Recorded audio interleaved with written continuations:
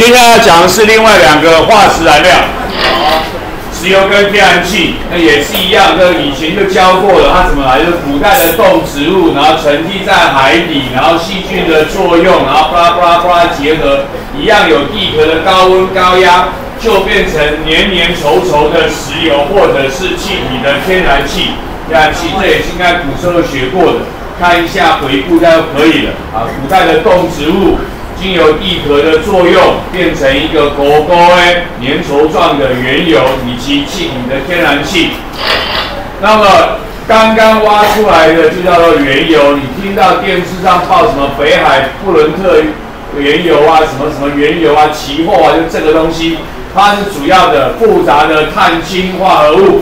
这个以前教过，就是所谓的烃类，烃类啊。我说我们念烃嘛，啊，烃类。这样子，它是，所以这是一个复杂的混合物，原油是一个复杂混合物，所以它的提炼跟处理就要比较麻烦，那稍微提到要分六，要分六，OK，原油、碳氢化合物、复杂的混合物，然后，所以呢，因为它很复杂，所以呢，它没有办法一次就处理完，所以我们就会先分段，分段再分段。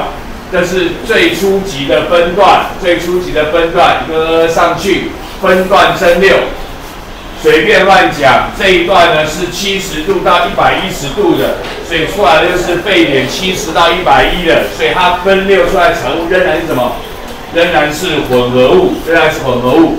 这个表格啊，有人问的很细，问你这一段是什么，这一段是什么？我觉得不用背了，你不用背。哪一段是什么？不用管，你只要晓得最下面，最下面的是沸点最高的，会比较成固体的；最上面的就是沸点最低的，最容易变成气体的就可以了。你只要知道底下是沸点比较高的，上面是沸点比较低的就可以了。至于每一段每一段什么东西，我个人觉得不需要背。虽然有人考过，有人问过，但是我觉得是不用背的。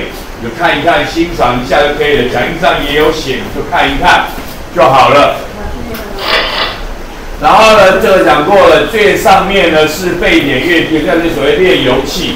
炼油器最上面，炼油器在最上面，这是沸点最低的，所以最容易变成气体的。下面就是所谓的沥青，沸点最高的，最高点在最下层。我讲过了，只这件事知道就好。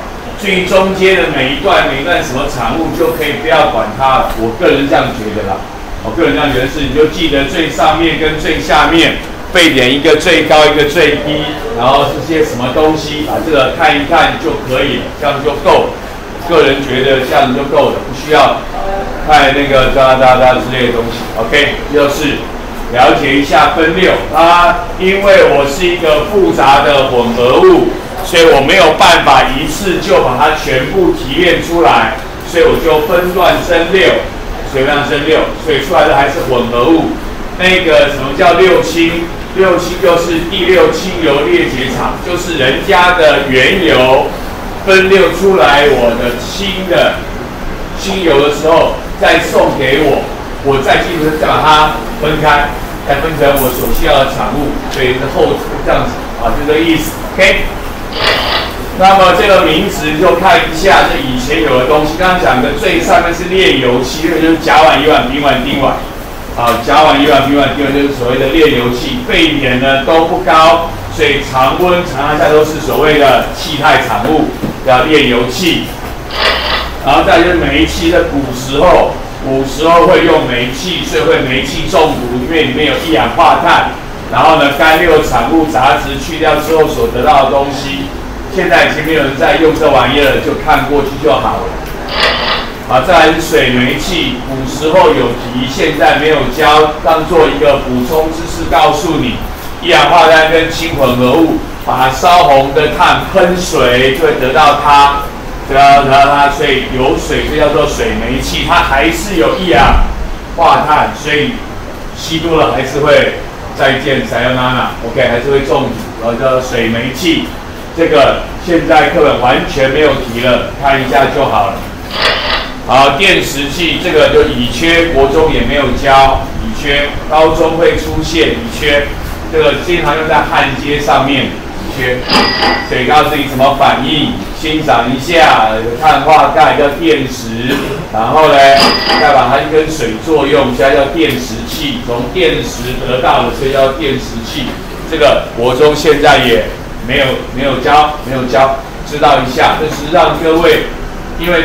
以前曾经有人提过一些名词，让各位了解一下这些名词的意思。他讲的是什么东西？欣赏一下，看看就好了。哎呀，好，背不起来就算了，因为大部分现在都不再教了，不再提了。OK，这是刚刚跟你讲过，用在焊接啊，乙炔烯跟焊接，氧混合高温的火焰叫氧炔焰，所以一些铁工厂来焊接的时候用到它，就用到它，乙炔焰。喷洗血液，OK。那石油可以怎么用呢？就是一样，大部分当做燃料拿来烧或什么之类的。啊，汽油就是我们现在大部分的车子烧的都是汽油，大部分车车烧都是汽油。啊，内燃机、汽车引擎、煤油、煤油灯，还有飞机的燃料，每个飞机的燃料，柴油。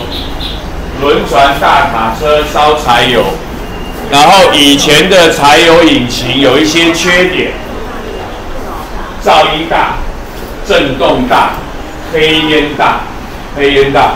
现在科技进步了，噪音变小很多，也不冒黑烟了，震动也比较小了。所以现在会有，所以以前它只放在大卡车上，那个不需要什么舒适的大卡车上。但是现在呢，会有轿车也用所谓的柴油引擎，也用柴油柴油引擎，因为它就不再冒黑烟了，也没有大噪音了。那柴油的好处是，它至少到目前为止，它都比汽油便宜。至少到目前为止，它都比汽油便宜，而且它的马力强，同基本上也是比较省能源啊，可以呢比较少的油可以跑得比较远，可以跑得比较远，比较省能源。